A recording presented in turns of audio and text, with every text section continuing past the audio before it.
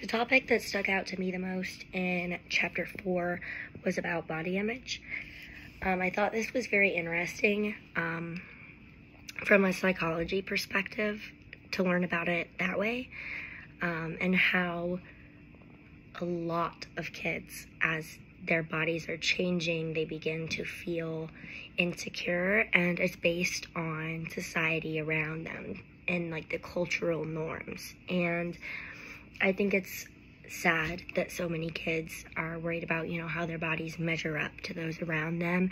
And um, I think that because this topic isn't talked about very often, that a lot of times kids don't know who to talk to about it.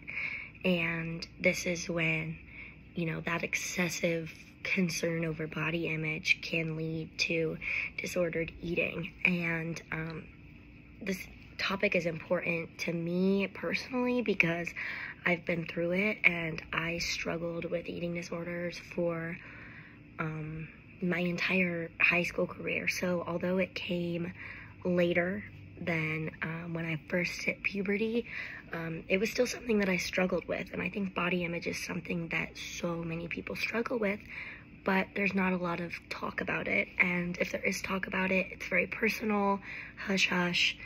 Um, and I do think that's sad. And I think it should be talked about more. And to me, as far as being in the field of educational psychology and just educational education in general, I think it's important to discuss because so many kids have these feelings and a lot of them probably don't know what that feeling is. So I think that talking about it um, and being vulnerable and um, opening up about stuff like that will give students a safe space to be like, hey, you know, this is something that I'm struggling with, or I didn't know that's what that was.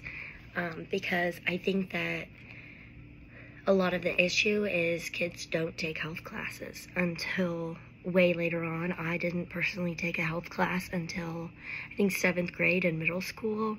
So I didn't really I didn't know about these things and I didn't know that having a negative image of myself was out of the norm or it was something to be worried about.